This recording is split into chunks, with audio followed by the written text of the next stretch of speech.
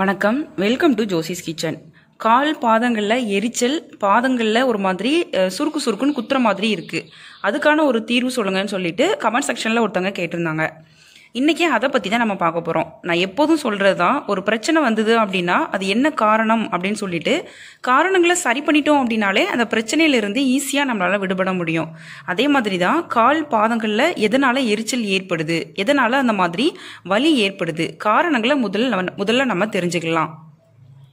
First என்னன்னு சொல்லி பார்த்தீங்க அப்படின்னா கர்ப்ப காலங்களில் பெண்களுக்கு அந்த மாதிரி கால் பாதங்களில் எரிச்சல் வலி அவங்களுக்கு ஏற்படும்.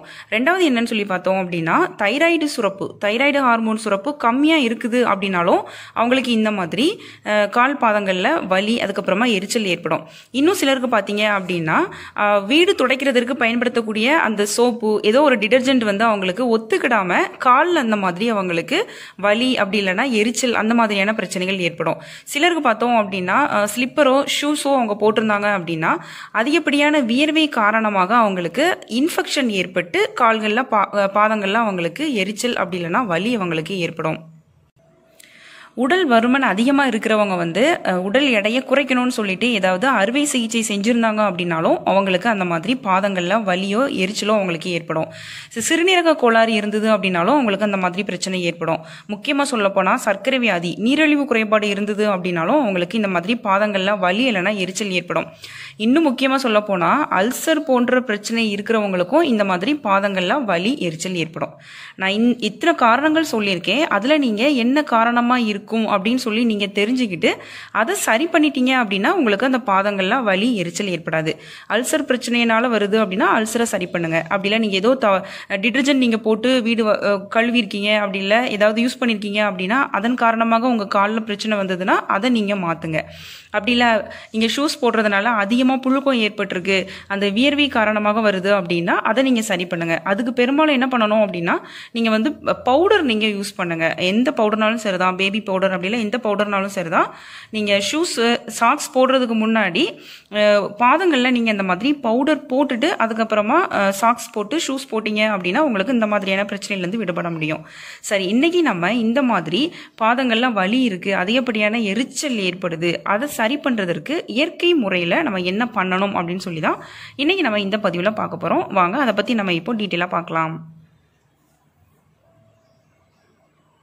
இன்னும் கூடுதலாக சொல்லப்போனால் காலுக்கு பொருத்தமே இல்லாத அவங்க காலணிகள் அணிஞ்சாங்க. அப்படி இல்லை ஷூஸ்லாம் போட்டாங்க அப்படின்னாலும் உங்களுக்கு பாதங்கள்லாம் வலி இல்லைன்னா எரிச்சல் ஏற்படும். சரி முதல் மெத்தடு என்னன்னு சொல்லி நம்ம பார்த்துடலாம் இந்த மாதிரி கல் உப்பை எடுத்துக்கோங்க. நல்லா வெது வெதுப்பான வெந்நீரில் இந்த கல் உப்பை நீங்கள் போட்டு நல்லா கரைச்சி எடுத்துக்கோங்க. இரவு தூங்க போகிறதுக்கு முன்னாடி உங்களுடைய பாதங்களை நல்லா அதில் மூழ்கிடிச்சிருங்க ஒரு பதினைந்துலேருந்து இருபது நிமிடம் நீங்கள் அப்படியே விட்டுருங்க. அதுக்கப்புறமா நல்லா தண்ணீரில் கழுவி சுத்தப்படுத்தி எடுத்துட்டு நல்லா துடைச்சி எடுத்துருங்க கால்களையும். துடைச்சதுக்கு பிறகு நல்ல தேங்காய் எண்ணெய் அப்படி இல்லைன்னா ஆலிவ் ஆயில் ரெண்டில் ஏதோ ஒரு எண்ணெய் நீங்கள் எடுத்து நல்லா அப்ளை பண்ணிட்டு நல்லா ஜென்ட்லாக இந்த மாதிரி நீங்கள் மசாஜ் பண்ணி கொடுங்க. உங்களுடைய பாதங்களை நல்லா நீங்கள் மசாஜ் பண்ணி கொடுத்துட்டே இருங்க. இப்படி நீங்கள் தொடர்ந்து தினமும் ஃபாலோ பண்ணிட்டு வரும்பொழுது உங்களுக்கு அந்த பாதங்களில் வலி எரிச்சல் வந்து உங்களுக்கு சரியாகும். ஒருவேளை உங்களுக்கு இன்ஃபெக்ஷன் மூலமாக உங்களுக்கு அந்த மாதிரி இருந்ததுனாலும் அது சரியாகும். அப்படி இல்லைன்னா நான் சொல்லியிருப்பேன் டிடர்ஜென்ட் மூலமாக உங்களுக்கு அந்த மாதிரி வந்தது அப்படின்னாலும் அதுவும் உங்களுக்கு சரியாகும். ஸோ ரொம்ப சிம்பிளான மெத்தட் கண்டிப்பாக எல்லார் வீடுகள்லையுமே இந்த கல் உப்பு அப்படிங்கிறது இருக்கும். பொடி உப்பு நீங்கள் எடுக்க வேண்டாம். இந்த மாதிரி கல் உப்பை நீங்கள் பயன்படுத்துங்க. இந்த மெத்தட் நீங்கள் ஃபாலோ பண்ணிட்டு வாங்க. அடுத்த மெத்தட் என்னன்னு சொல்லி நம்ம இப்போ பார்த்துடலாம். அடுத்ததாக நீங்கள் எடுத்துக்க போகிறது இந்த கற்றாழை. இந்த மாதிரி நல்லா ஃப்ரெஷ்ஷான மடலாக நீங்கள் எடுத்துக்கோங்க. கற்றாழை அப்படின்னு சொல்லும் பொழுது நிறைய நன்மைகள் நமக்கு கண்டிப்பாக கிடைக்கும். இதை நீங்கள் இது ரெண்டு விதத்தில் நீங்கள் இதை பயன்படுத்திட்டு வாங்க. நான் ஏற்கனவே சொல்லியிருப்பேன். உங்களுக்கு இந்த மாதிரி அல்சர் போன்ற பிரச்சனை இருந்தது அப்படின்னாலும் அதனுடைய வெளிப்பாடு வந்து உங்களுக்கு பாதங்களில் தெரியும். வலி ஏற்படும் எரிச்சல் ஏற்படும் அப்படின்னு சொல்லிட்டு. அதுக்கு இந்த மாதிரி இதே அளவு இருக்கிற இந்த கற்றாழை எடுத்து சைடில் இருக்கக்கூடிய இந்த முட்கள் எல்லாம் நீங்கள் நீக்கிட்டு உள்ளே இருக்கிற சதை பெற்று மட்டும் எடுத்துக்கோங்க. எட்டு முறை நீங்கள் நல்லா கழுவி எடுத்துட்டு அதுக்கப்புறமா நீங்கள் மிக்சி ஜாரில் போட்டு நல்லா அரைச்சி நீங்கள் எடுத்துக்கோங்க. ஜூஸ் மாதிரி எடுத்து வச்சுக்கோங்க. அந்த ஜூஸை மட்டும் தினமும் காலையில் எழுந்ததும் வெறும் வயிற்றில் நீங்கள் தொடர்ச்சியாக குடிச்சிட்டு வந்தீங்க அப்படின்னாலே போதும்.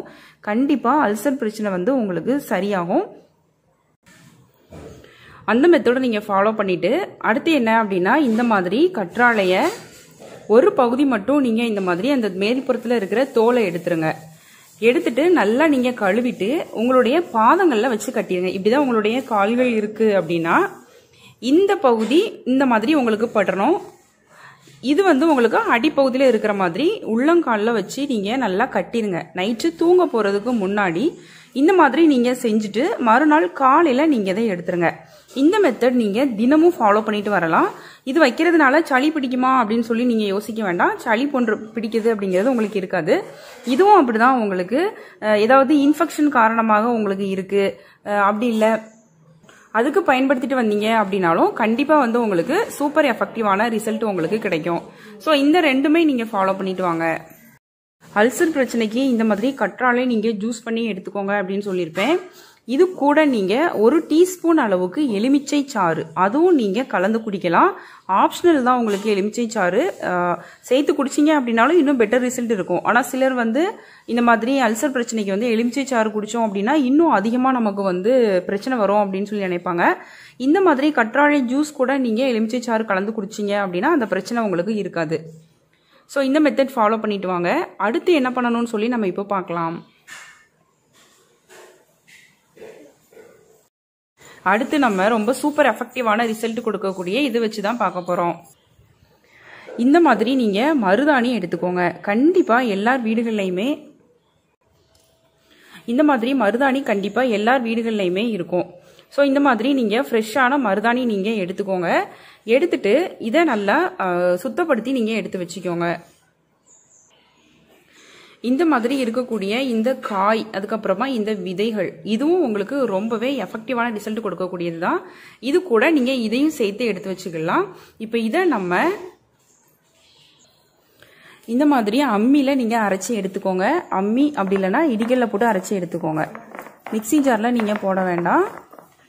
அரைச்சதுக்கு பிறகு நம்ம இன்னொரு பொருள் சேர்க்கணும். அதனால் இதை நல்லா நம்ம இப்போ அரைச்சி எடுத்துக்கலாம்.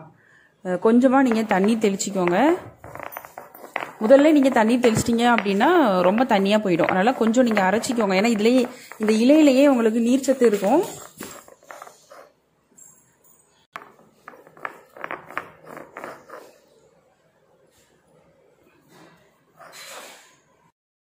நல்லா நம்ம அரைச்சி எடுத்துட்டோம். இதை இப்போ தனியாக இந்த மாதிரி ஒரு பவுலில் மாற்றிட்டு இதை நம்ம நல்லா அரைச்சி எடுத்துட்டோம். அடுத்ததான் இது கூட நம்ம சேர்க்க போகிறது இந்த சிந்தட்டிக் வினிகர் அதாவது பிளெயின் வினிகர் நீங்கள் சேர்த்துக்கோங்க. இது கிட்டத்தட்ட ஒரு டீஸ்பூன் அளவு நீங்கள் எடுத்துக்கோங்க. ஒருவேளை இந்த வினிகர் இல்லை அப்படின்னா அதுக்கு அல்டர்னேட்டாக நீங்கள் எலுமிச்சை சாறு நீங்கள் எடுத்துக்கலாம். அதுவும் நீங்கள் ஒரு டீஸ்பூன் அளவு எடுத்துக்கோங்க. இது உங்களுக்கு ஆர்கானிக் ஷோரூமில் கிடைக்கும். அப்படி இல்லைன்னா சாதாரணமாக நீங்கள் க்ரோசரி ஷாப்பில் கூட கேட்டு வாங்கிக்கலாம். கிடைக்கல அப்படின்னா நான் உங்களுக்கு டிஸ்கிரிப்ஷன் பாக்ஸில் லிங்க் கொடுக்குறேன். அதில் போய் நீங்கள் வாங்கிக்கோங்க. இது கிட்டத்தட்ட ஒரு டீஸ்பூன் நம்ம சேர்த்துக்கிடுவோம்.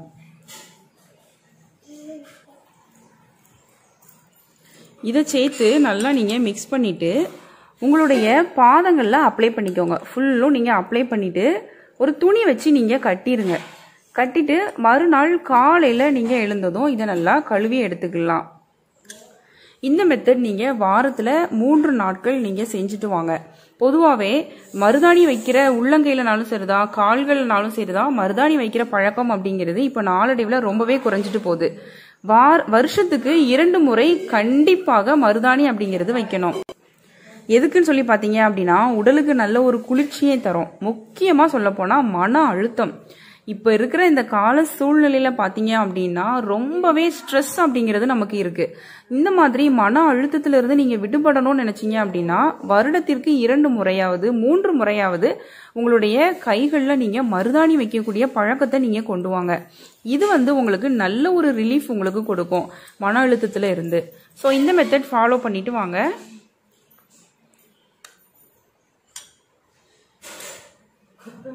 நம்ம என்னதான் முகத்துக்கு ரொம்பவே இம்பார்ட்டன்ட் கொடுத்தோம் அப்படின்னாலும் சரிதான். அந்த அளவுக்கு நம்மளுடைய பாதங்களை பராமரிக்கிறதுக்கு நம்ம ரொம்பவே தவறி போயிடுறோம். பெரும்பாலும் நீங்கள் வாரத்திற்கு ஒரு முறையாவது உங்களுடைய கால்களை நல்லா வெதுவெதுப்பான வெந்நீரில் நல்லா ஊற வச்சிருங்க. ஒரு முப்பது நிமிடங்கள் ஊற வச்சுட்டு அது ஊற வைக்கிறதுக்கு முன்னாடி அந்த வெது வெதுப்பான வெந்நீரில் இந்த மாதிரி கல் உப்பு போட்டுக்கோங்க. அப்படி இல்லை ஏதாவது ஒரு ஷாம்பு மைல்டான ஷாம்பு ரெண்டும் சேர்த்து நல்லா மிக்ஸ் பண்ணிவிட்டு பாதங்களை நல்லா ஊற வச்சு நல்லா க்ளீன் பண்ணி எடுங்க. இந்த மாதிரி நகங்கள் நகை இடுக்குகள் அதெல்லாம் நல்லா க்ளீன் பண்ணி எடுத்து வச்சிருங்க. இந்த மாதிரி நீங்கள் வாரத்திற்கு ஒரு முறை இரண்டு முறை அப்படி நீங்கள் செஞ்சீங்க அப்படின்னா கூட இன்ஃபெக்ஷன் வராமல் கண்டிப்பாக உங்களுடைய பாதங்களை பாதுகாக்க முடியும். பாதங்கள் அப்படிங்கிறது நமக்கு ரொம்பவே முக்கியமான ஒன்று தான் பாதங்களில் ஒரு பிரச்சனை அப்படின்னா கூட கண்டிப்பாக நம்மளால் தாங்கவே முடியாது. ஸோ இதெல்லாமே நீங்கள் ஃபாலோ பண்ணிட்டு வாங்க. நான் சொல்லியிருக்கிற மெத்தட் இது எல்லாமே நீங்கள் ஃபாலோ பண்ணுங்கள் இன்னும் உங்களுக்கு இதே மாதிரி உடல்நலம் சார்ந்த வீடியோக்கள் வேணும் அப்படின்னாலும் கமெண்ட் செக்ஷனில் கேளுங்க. கண்டிப்பாக உங்களுக்கு நான் வீடியோ போடுறேன். என்னோட சேனல் பிளேலிஸ்ட்டில் போய் செக் பண்ணி பார்த்தீங்கன்னாலும் உங்களுக்கு நிறைய வீடியோக்கள் கிடைக்கும். இன்றைக்கி உங்களுக்கு இந்த வீடியோ பிடிச்சிருக்கும்னு சொல்லிட்டு நான் நம்புகிறேன் மறக்காமல் நீங்கள் லைக் பண்ணுங்கள் உங்கள் ஃப்ரெண்ட்ஸ் எல்லாத்துக்கும் ஷேர் பண்ணுங்கள் புதுசாக பார்க்குறவங்களா இருந்தால் சப்ஸ்கிரைப் பண்ணிக்கோங்க. பக்கத்தில் இருக்கிற பெல் சிம்மில் மறக்காமல் கிளிக் பண்ணுங்கள் நான் இன்னொரு நாள் இன்னொரு வீடியோவோட உங்களை மீட் பண்ணுறேன் தேங்க்யூ